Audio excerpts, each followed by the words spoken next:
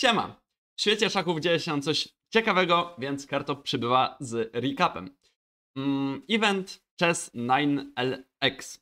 E, I to jest event z szachów Fischera, czyli na pierwszej linii losowo poukładane figurki. No i trzeba od początku grać na logikę. Nie ma tam debiutów, wiadomo o co chodzi.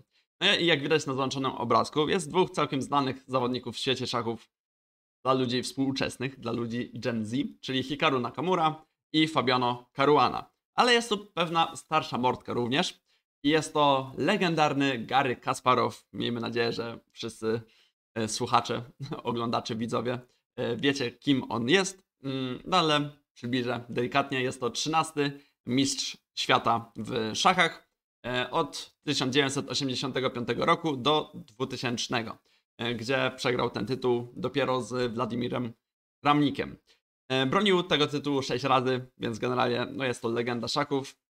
No, jeśli się mówi o najlepszym szakicie w historii, no to się wymienia Magnusa Carlsena, Garego Kasparowa głównie, ewentualnie jeszcze Fischera, tak mi się wydaje. E, Okej, okay. hmm, no i przejdźmy do recapu, no bo skoro przyszła taka legendarna postać, e, no to właśnie popatrzymy sobie na jego partię, na najważniejsze momenty, bo pełne partie macie chociażby u Tomka Jaskółki, więc zapraszam e, do niego. Mm, no i tutaj mamy fajną baterię ustawioną.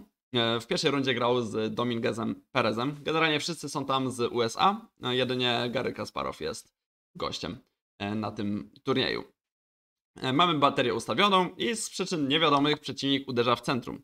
E4 idealnie nadziewając się na tą baterię. Generalnie kilka dziwnych decyzji tutaj podejmował przeciwnik Garego. Nastąpiło odbicie, odbicie, no i F, F5. Od razu uderzamy. Oczywiście po odbiciu otwiera się cała diagonalia białopolowa, więc to, obiekt, to obiektywnie wygląda źle. Więc oczywiście w to, nie, w to nie idziemy. No i przeciwnik próbuje zamknąć tą diagonalię, czyli gra D5. Następuje wy, wybitka, presja na skoczka, ale przeciwnik się nie zraża i gra goniec H3. Gdyż nie można wybić tego skoczka, bo tu się dzieją dzikie rzeczy. E, tak poglądowo wam, wam pokażę. Nie wiem, czy Dominguez to wyliczył no 3 minutki na tym spędził. Na pobiciu jest szach. Mm, po pierwsze po król H8 jest po prostu mat, bo taka sama bateria jest ustawiona po stronie przeciwnika. E, a jak zasłonimy się skoczkiem, to jest bicie e, i na przykład wybijemy sobie pionka, no to goniec H6. Grozi nam mat. Nie można wybić, bo jest to nielegalne. E, jest tu związanie. Mm, no to znowu musimy się bronić, goniec F8 i wtedy z kolei skoczek wchodzi do gry i tam jakieś dzikie rzeczy się dzieją. Y, tu nam teraz jakieś maty mogą grozić, król się odsuwa, jakiś szach jest odsłony i tak dalej.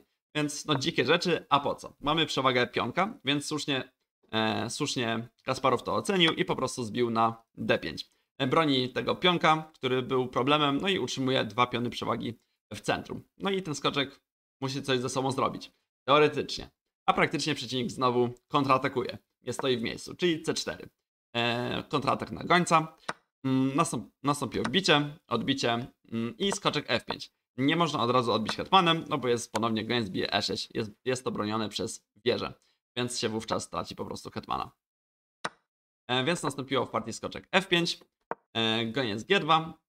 Mm, no, hetman stoi na przestrzale, no ale na razie goniec C5, bo tutaj no nic gwałtownego nam nie grozi. Zawsze uciekniemy tym hetmanem, czy to na B8, czy zasunimy się przez C6. Jest na razie związanie. Kolejny kontratak, że tak powiem. E, no i tutaj dziwna decyzja, no bo nastąpiło B4. I to zagrane w sekundę w sumie. Mm. No a tutaj nie wiem, czemu to nie, nie zostało zbite. W sensie to wygląda jak logiczny ruch. No i pozbył się przeciwnik pionka, no i potencjalnie może go pchać.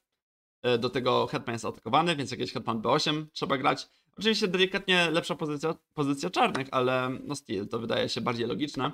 No a po B4 nastąpiło po prostu wybicie stępem, odbicie i C5. E, znowu kontratak, no i tutaj sobie otwiera kolejne diagonalie. Mm, Kasparow. Może kiedyś jakieś poświęcenie tutaj wejdzie, typu nie wiem, e, jest atak, hetman się odsuwa, mm, król będzie próbował się schować, no i wtedy bicie, odbicie i może jakieś bicie na G3 wejście skoczkiem i tak dalej. Może coś takiego kiedyś wejść. Nie mówię, że od razu, ale mm, no, takie taktyczki często, e, często się zdarzają. Król G1 uciekł w partii, e, no i ebije D5. No i trzy piony na czysto, po prostu. Więc absolutnie nie rozumiem, czemu ten pionek z E6 nie został e, wybity w żaden sposób. Mm, Gojens kontratakował, no ale spokojnie się bronimy. Jest nałożona presja na skoczka, ponownie się bronimy. Bicie, odbicie, no i po prostu mamy trzy czyste piony więcej w centrum i to dość szybkie.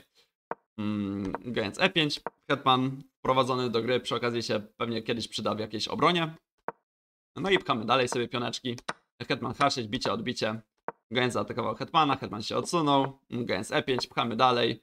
Bicie, odbicie, wieża C5, no i białe się po prostu poddały. No trzy piony więcej na czysto. E, Kasparow ustabilizował pozycję, no i nie ma się do czego przyczepić. Co więcej, teraz wieża C5 było bardzo dokładne, no bo po jakimś losowym ruchu może jeszcze trzeba myśleć, co się dzieje po jakimś G4 na przykład. Mm, No bo ten skoczek jest podbiciem, mm, no a jak nastąpi wybicie, no to jakieś wieża bije G7. E, Też nie możemy uciec, no bo dostajemy wieżę G7 i jest e, mat w kolejnym ruchu. O, jest szach, zasłona i wtedy jest mat. No ale to też nie wygrywa. To G4, no bo po prostu pchamy sobie dalej. C2 i dochodzimy do przemiany. No ale tutaj i tak dokładnie wieża C5, gdyż goniec nie ma gdzie się znaleźć na tej diagonali, żeby współpracować nadal z wieżą. Więc tak oto w pierwszej rundzie Gary Kasparow zwyciężył. Jeden na jeden punkt. I klasycznie jakby ktoś chciał ze mną potrenować, zapraszam na stronkę szachomania.pl, gdzie jestem trenerem. Link w opisie. W drugiej rundzie Kasparow mierzył się z Wesleyem So. E, I patrząc na to, że podsumowanie pierwszej partii, która była dość skomplikowana, trwało 6 minut, to pewnie e, nikt tu nie został. E, A jeśli zostaliście, to zachęcam, żebyście napisali w komentarzu e, komentarz są lepszy od, e, od Kasparowa. Znak większości. Kasparow. E, Żeby, żeby zirytować ludzi czy coś. No nieważne. E, Zachęcam do taktycznego komentarza. Mm, A tu już polecimy szybciej, bo to no, szybka akcja nastąpiła. Nastąpiło goniec A4, mm, delikatna presja na pionka z C2, e, no i w zasadzie wymuszone B3. E, Z drugiej strony to B3 powoduje, że tu czarne pola się osłabiły, więc być może kiedyś chciał Kasparow właśnie to wykorzystać. E, Nastąpiło skoczek C6, oczywiście po biciu odbijamy skoczka, no i struktura pionowa białek jest nie za dobra. Mm, Mimo wszystko, no ten król i tak tu jest totalnie bezpieczny. No a gońce delikatnie wycelowane w króla. Mm, Nastąpiło skoczek bije C6, goniec odbił i roszada. Roszada krótka. E, Są to szachy Fischera, więc, więc takie dzikie densy można robić. Wieża się nie ruszyła, król się nie ruszył, po drodze nie ma żadnych, e, żadnych figur, więc można zrosz, zroszować. No i fajnie ten król uciekł na drugą stronę szachownicy, jest totalnie bezpieczny. E, Wieża D7, A4. No i ten skoczek tu spełnia e, rolę bardzo ważnego obrońcy. Mm, Tutaj patrzy na pole C4, potencjalnie po wybiciu można wybić skoczkiem. No a jeśli nie, jeśli nastąpi losowy ruch typu, nie wiem, roszada, no to po biciu, jeśli odbijamy czymś innym, czyli pionem, no to jeszcze jakieś bicie, bicie e, i tu wszystko nam wchodzi na króla. Więc, więc e, Gary od ręki zagrał e, A5, żeby zablokować tą opcję. Nastąpiło wieża AD1, po prostu wprowadzenie kolejnej figury do gry, no i długa roszada. E, więc wieża przeniknęła przez króla, ale to był błąd i po kolejnym ruchu Kasparow się poddał. Goniec E1, po prostu pionek jest niebroniony. Przed roszadą mm, nie było jeszcze od razu ruchu goniec E1, no bo jeszcze potencjalnie wieża A8 broniła tego pionka w braku laku. No a w ten sposób po długiej roszadzie goniec E1 tu się wszystko sypie, e, pion mniej, pozycja beznadziejna i Kasparow po prostu uznał wyższość rywala. W trzeciej rundzie mm, Kasparow mierzył się z Rayem Robsonem, czyli mistrzem puzzle rushów, mm, puzzle battle i tak dalej. E, Któryś rok z rzędu chyba w tym roku wygrał, tak mi się wydaje. No i tu generalnie przez cały, cały mecz była totalna równina, totalnie remisowo i, do, i dopiero na koniec delikatne dymy nastąpiły, mm, ale to by nic nie dało, że tak powiem. E, Nastąpiło poświęcenie jakości ze strony Garego. Mm, Nastąpiło odbicie i skoczek A5. Grozimy matem. No nie tak łatwo się obronić. No, hetman F3 nie, bo pionek. Nie ma z żadnej strony tam dojścia. No i nastąpiło bicie z szachem, no ale nie odbijamy hetmanem, no bo wtedy przypał. Jest wygrana e, czarnych. Jest po prostu jakość, jakość więcej. No i zaraz ustabilizujemy pozycję. Może jakieś hetman G2, D4 e, i obronimy punkt B7. Mm, dlatego król A2, więc w zasadzie no, w, 7 punktów mniej. No dwie wieże za skoczka. Ciężko stwierdzić ile to jest. E, No ale jednak tu wszystko przeciwnik też dobrze policzył. Wieża A1 z szachem, oddanie tej wieży, król bije A1, no i wtedy hetman H1 z szachem. Król musi się odsunąć, no i wtedy D4. I ten punkt w ten sposób został obroniony. No widać, że tutaj zadania taktyczne na wysokim poziomie e, ogarnia ogarnia zawodnik grający czarnymi. E, Hetman B6, no to szukamy jakichś szachów, no to już bardziej wal walczymy o remis. E, Odbicie, no i jeśli nic nie zrobimy, no to po prostu bicie na B2 i czarne wygrywają. No ale tutaj jest wieczny szach. Hetman C7 z szachem, król A8, szach, król się odsuwa, szach. No i czarne nie mają jak z tego uciec. B6 nigdy nie wchodzi w grę, no bo jest po prostu szach. E, król ucieka, a to nawet nie jest takie proste w sumie. Gdzie tu jest mat? A dobra, szach, tu, szach, tu, szach, yy, tu. O, i szach. To ma sens. E, I szach, hetman odbija i hetman bije c6. No, więc y, znaleziony motyw. Trzeba było pozbyć się tego piona, żeby, e, żeby skoczek mógł wskoczyć na c6. Więc w sumie fajne, fajne mini, mini zadanko. E, Król A8, no i tak się partia zakończyła wiecznym szachem. Na razie półtora z trzech. W czwartej rundzie mierzył się z Oparinem i tu całą partię była totalna równina, jedynie w końcówce to przeciwnik Kasparowa miał szansę wygrać. Ale no jak widać 24 sekundy na zegarze, generalnie tempo gry to jest 20 minut plus 10 sekund po każdym ruchu. No i tutaj jest w zasadzie tylko jeden komputerowy wariant, który wygrywa tą pozycję. Pokażę wam go, ale nikt o zdrowych zmysłach e, by tego nie zrealizował. Prawdopodobnie, zakładam. E, Wieża H3 z szachem, tak poszło w partii. No i tutaj błąd. Król E2 i tu przewaga została wypuszczona. Co tu wygrywało? Król G4, presja na wieżę, no i wieża bije pionka. Wówczas wieża E8 z szachem. No i to jest forsowne, no bo jest król F6. Król F6 i wtedy wybijamy po prostu, yy, gramy A7. gramy A7, no i chcemy dorobić yy, hetmana. Wówczas skoczek B6 oczywiście, yy, obrona punktu A8, wciąż skoczek jest presowany. Skoczek bije D6, wieża A3, presja na piona, no i wracamy skoczkiem na B5. Jest presja na wieżę, no i bronimy piona. Wieża A5, atak na skoczka i wieża B8. Wszystko się tutaj trzyma, ym, bo po prostu grodzimy wybiciem i to z szachem, co jest bardzo istotne. Ym, przez to po biciu można wybić wieżą na B6 z szachem. Genialny ruch, wieża bije na B6, no i wtedy dorabiamy hetmana.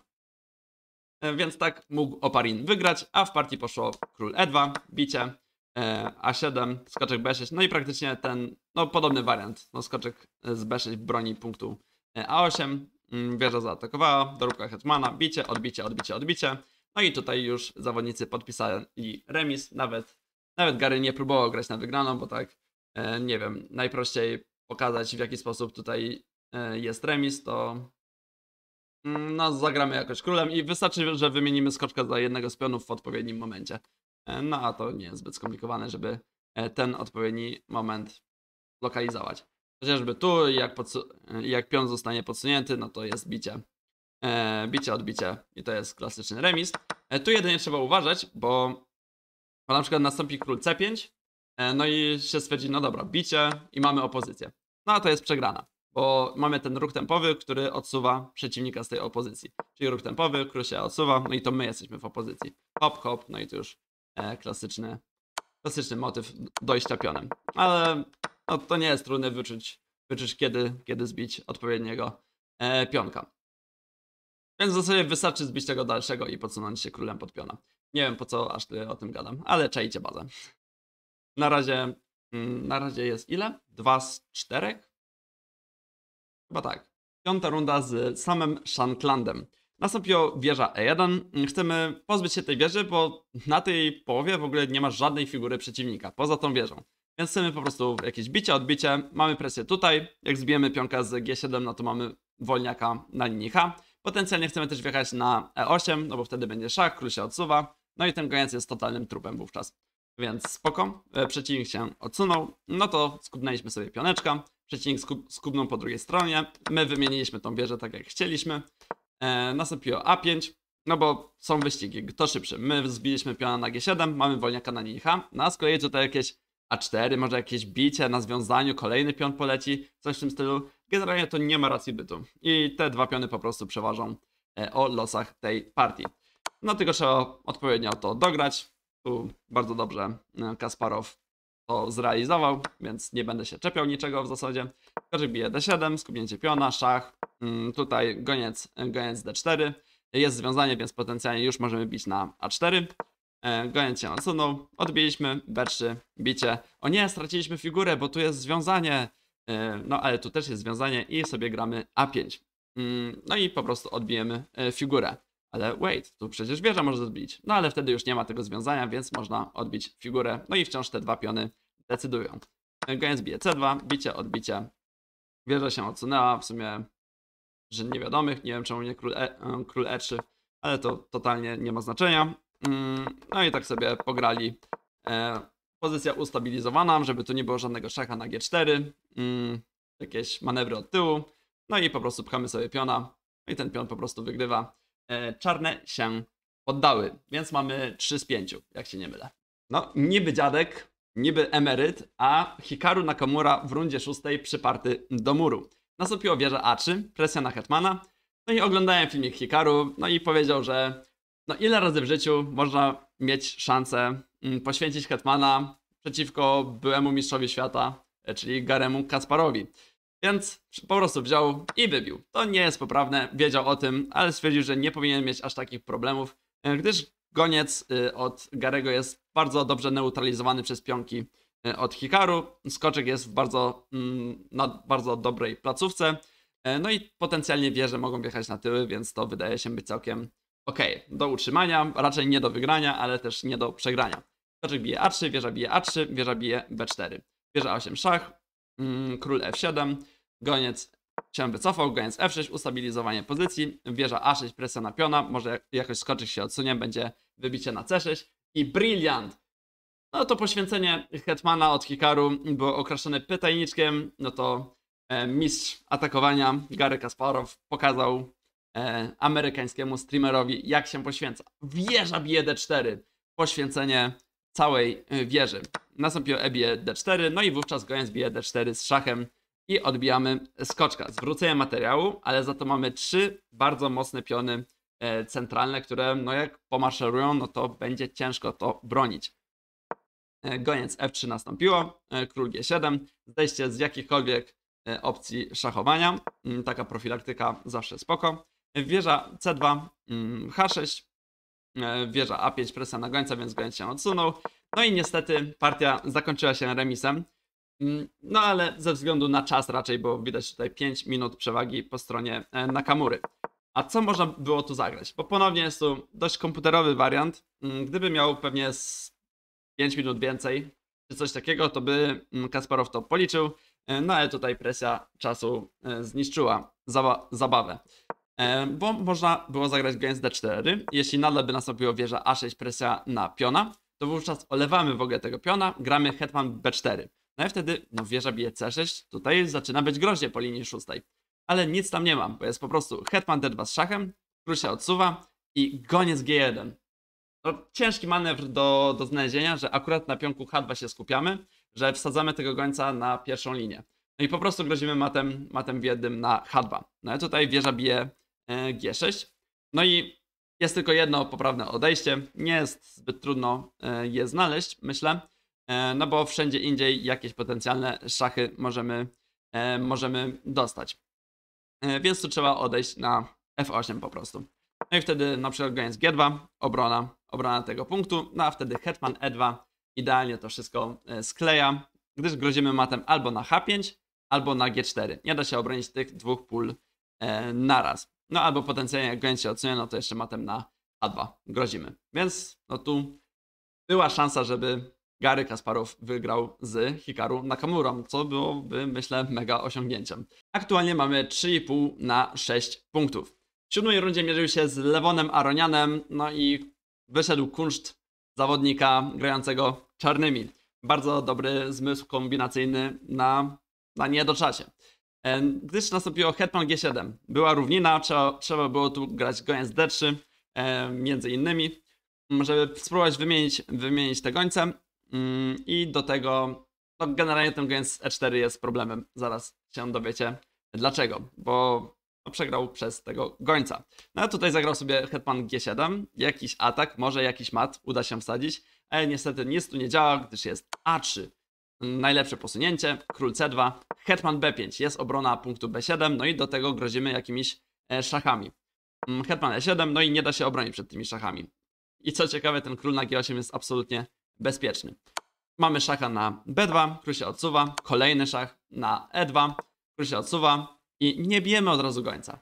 trzeba dokładnie zagrać wszystko. Czyli hetman e1 z szachem, jedyne pole, gdzie król może się odsunąć to jest c2 i dopiero wtedy wybijamy z szachem, no i bijemy wieżę i wygrywamy partię. Kary się oddał, czyli mamy 3,5 na 7. Ósma runda z Fabiano Caruaną, z liderem turnieju, walczy jak równy z równym i niestety wkradł się Blander.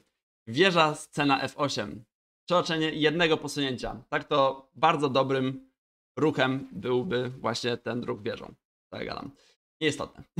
No bo tutaj poświęcenie figury. Agresywne szachy, by Gary Kasparow. I po wieża bije C7 jest wygrana czarnych. Wieża bije F2 i albo bicie hetmana, albo bicie wieży. E, nie ma jak temu wszystkiemu zaradzić. Co zostało przeoczone? Ruch wtrącony. Skoczek F1, presja na hetmana. Hetman musi się odsunąć i już nie ma e, jak zerkać na punkt F2. Hmm, no i jeśli, mm, jeśli teraz by nastąpiło bicie na, na F2, no to po prostu jest bicie na H2. No i bicie, odbicie.